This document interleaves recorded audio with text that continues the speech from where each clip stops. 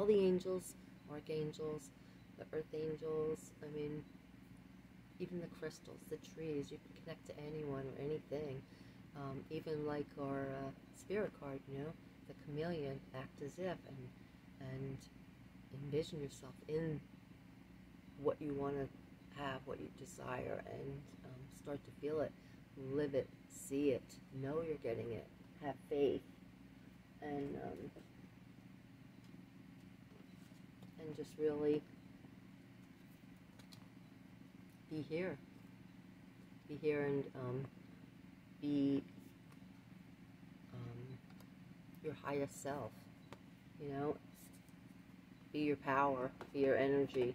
You know, know your energy is strong and keep your vibration up so you can get connected, so you can receive guidance and love, and um, and know that everyone on the other side in spirit form was once here too, and um, maybe not all the angels, but um, and um, they they know what you're going through, especially the Ascended Masters and um, your your soul family and your ancestors, all of them.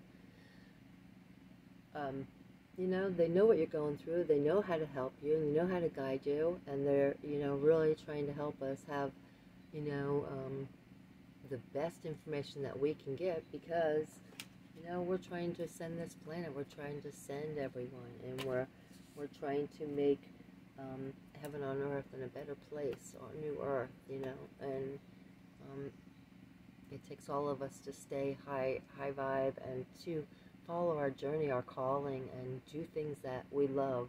Get out of the programming, get out of the 3D thinking that we've always been taught, and go into your spiritual self and connect with the freedom and the love that we have all around us, you know.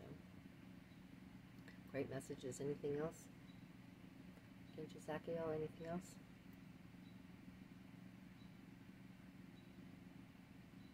Love to you all and great job.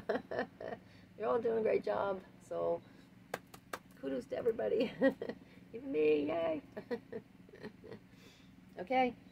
Well, I hope you love the messages. And sometimes, you know, um, you might want to come back and listen to these again. Or even take a screenshot of some of them and, you know, and use this use this guidance you know it's here for you and that's why you're guided to this video no matter when you came you know it could be years from now. Um, it, there's something in there for you and you're being connected by your spirit team and guides or an angel your angels you know. We have so many angels around us so many beautiful angels. And you can just feel them when you get goosebumps sometimes you know. And make sure they want you to know they just said make sure you get at least seven hugs a day, and you can always ask them seven or eight hugs a day, and um, receive their love. They will hug you. I ask them all the time, because I don't get too many hugs. so, um, unless my grandkids, my kids, but I haven't seeing too many of anybody yet lately since I've been moved. But you know, so yeah ask for a hug and, and receive it and be thankful. We have all all this love and support all around us all the time. Okay?